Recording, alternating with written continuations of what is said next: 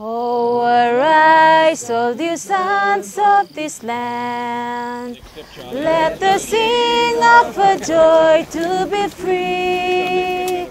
Praising God and rejoicing to be Papua New Guinea. Shout again from the mountains to seas.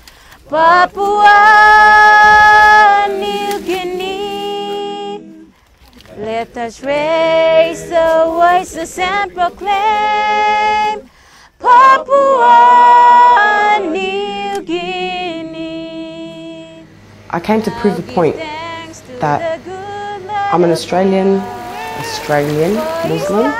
I'm here because I want to make a difference in my community. I want to erase the current image that my community, Cronulla, has um, been branded with. I'm here because,